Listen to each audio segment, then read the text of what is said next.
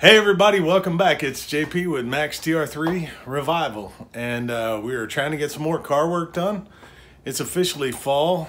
The uh, leaves have changed, and uh, cooler weather is here. Been trying to get uh, some parts in. Unfortunately, I wasn't the best at keeping up with everything when uh, the car was taken apart, so learned a few lessons there. But I think I've officially hit the uh, ratchet reset day. happy about that. I've got some parts that have come in. And I did have that reamer come in, but it was the wrong size. I did not do my math correctly. so got another one on order and I've returned to that one. Cleaning up some bearing surfaces here on my trunnions. I got some new bolts ready to go. And I'm unpacking a few more things. And I looked at my, uh, this is the upper, obviously fulcrum, sorry, not trunnion. Trunnion's down there. Uh, so the upper fulcrum. Got it ready to go. I need one more rear shock, which I'm trying to hunt down. Seems they're on kind of back order. Got a couple of the uh, bushes ready to go back in, so I think I'm going to work on that as well this morning. It is a beautiful day. As we can see, the colors out there are all uh, getting to the point where they're gonna be dropping all the leaves. Fun stuff. I need to update that list a little. Go from there. Super simple process. Uh, just putting that bush uh, back in the lower A-arm in the rear uh, section. And for this one, I'm just uh, using the vise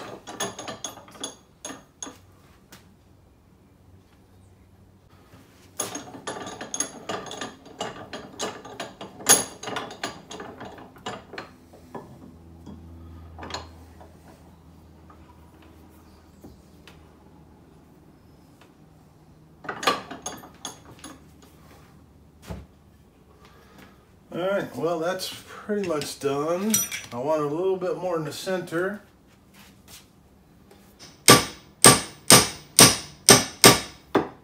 That works. So I got the same reveal on both sides. Pretty close. One in, three to go. Not a happy camper. Uh, I realized when I was putting in the uh, bushes on the rear that I needed to press the ones in the front too. Unfortunately, what I did was took the wrong one and had it pressed out. So I pressed out the only one I was able to get in. I'm still left with an arm that needs to have a bush pressed out.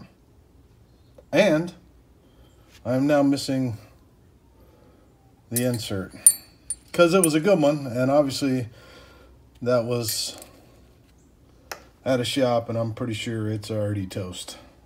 Not one of those things you want to have happen, but looks like I'll have to get another one and see if I can't find a way to make that one come out. What are you going to do? Keep on moving forward. It's kind of encouraging. Some of the parts are coming back together. I'm uh, remembering how it's uh, assembled somewhat. Missing a couple little things. I got a spacer that needs to go in here for the upper ball joint. Did order the new reamer, so that should be on its way. So a little bit of an unboxing, and uh, just for anybody that's curious and may have to do this themselves, the hand reamer I got's an adjustable one. Obviously, the writing on there, I'll let you know. It's from another part of the world. But uh, Amazon had it, so I got it. The size is 15.25 to 17 millimeters, which puts you right in that correct range. Uh, 5 eighths of an inch is 0.633, and when you switch that over to millimeters, it's uh, right in that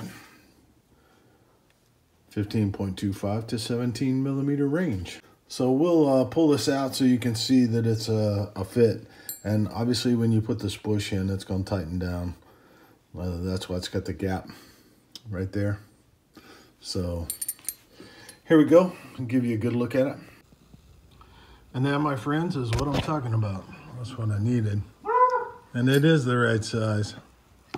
So, there we go. I'm probably gonna need one more trunnion because the one on this side was pitted pretty bad. But uh, it's coming back together as far as the process. A little bit slow for me. So some of the little things that you gotta be thankful for. Um, for me, it was watching somebody else's uh, video and reminded me that I needed to wrap these up before the sandblasting. Got them unwrapped now and they all look real good. I had cleaned them up prior to going to sandblast, so pleased that uh, I don't have to worry about that. You know, this being part of the frame, it's not like those are easily removable. And of course this one as well. So little bit more on uh, the front end is uh, I've got most everything ready to go. I'm gonna take a few of these bolts off that I've uh, located, which I just had sitting elsewhere. And I've got just a kind of a mix up of parts. I know, I think you could either use the Nylocs or the slotted. Uh, prefer to go back with the original, I think, which was the slotted. What I'm gonna do is just put these in some Evapo-Rust and then throw a light coat of paint on them. I got the pan out just so I could figure out what was going on. In previous video where I showed, I had the bolts uh, sitting straight up, which um, I realized was wrong, so I had to flip them. Got the trunnion just sitting in place. I need to put the stop in. Little things like that. I got one arm I got to take back to the shop, which I'm going to do in the next couple days. Get that pressed out, ready to go. I've got a box of parts that uh, just want to kind of separate out. Also, the last thing that I want to be working on is locating the rest of the parts for the rear end.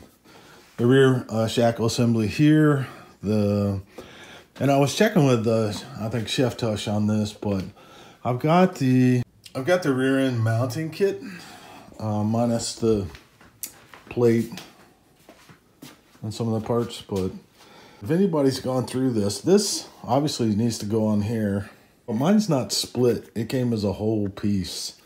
So if you've got one that shows how this was split, I mean, is it just a straight cut or, you know, across the center and then, then wrapped? Let me know. trying to figure that out. Get the plates on, get the rear end located, get the shackles on, get these wrapped. So that's the process moving forward.